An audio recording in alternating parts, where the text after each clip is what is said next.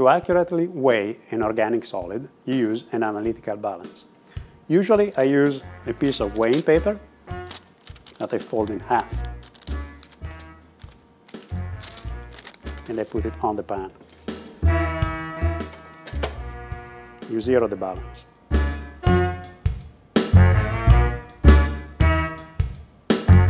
You open both sides.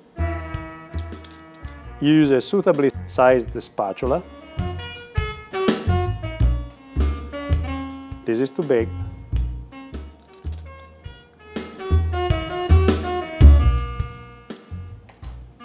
This is too small.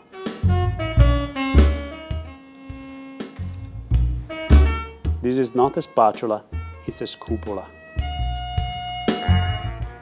You use one hand to remove the lid and hold the lid in your hand. You have enough dexterity to do that.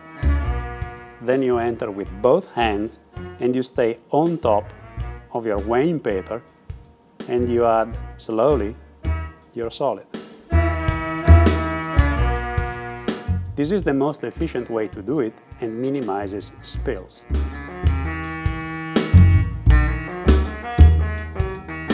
When your weight is close to your target, you reclose your bottle, you close both windows, and you read the weight.